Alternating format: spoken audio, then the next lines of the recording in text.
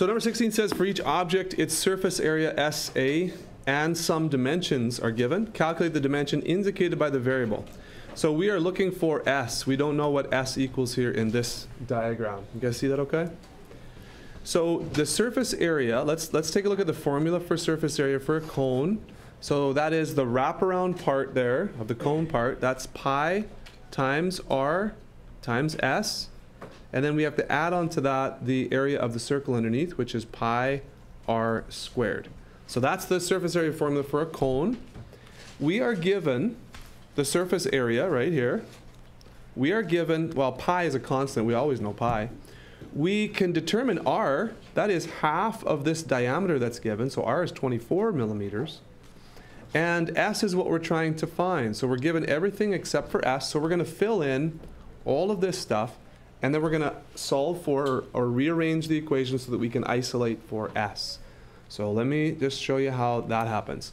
So we fill in all our values. 7012 is the surface area. Don't worry about the units. We'll come back to the units at the end. Pi, uh, well, we're in grade 10 here now, we're going to try to make sure we used our pi button so we have all the decimals so that we don't sacrifice any precision there. So if you don't have a pi button or it's tough to get to, what you can do is use at least 3.14159. Okay, you have to use at least that many decimals, then you won't sacrifice any precision. So pi button, preferably, or this number right here. R is 24. S is just S. We leave it as S for now because that's what we're trying to find. Plus, again, pi, 3.14159 times 24 squared. All right, so that's how you set up your equation.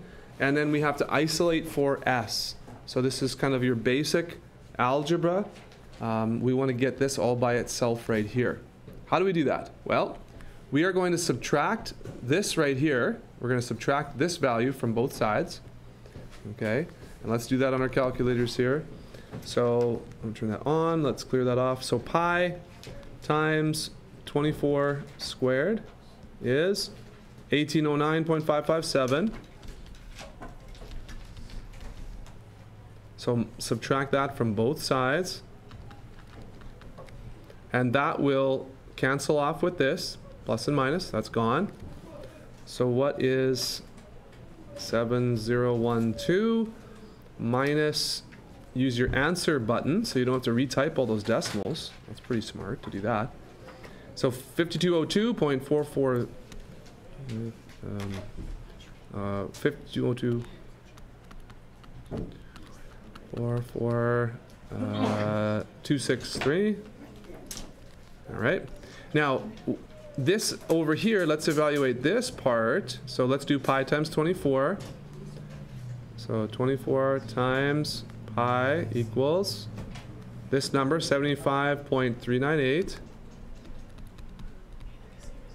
S. Okay. So, does everyone, does everyone know where we're at here? This is kind of like the equation, and now I've subtracted, and I've got this second step there. Everyone okay with that? If you're okay with that, now what you do is you divide to get S all by itself. Okay? So what do we divide by? This 75 number. Okay? And that will give us just S on this side, and that's what we are looking for. So, uh, so 5202.442 uh, 632 um, divided by, and I'm going to use the previous answer so I can get all the decimal places, divided by answer equals. So I get 68.999 or that's 69.0. 69.0. Nearest tenth of a unit. Okay, now that's what I get. Let's double check back of the book. Anybody got 16A? Anybody seen the answer for 16A? Yes, that matches what you got the back of the book. Okay, so that's how we solve for S. Good? Any questions about that?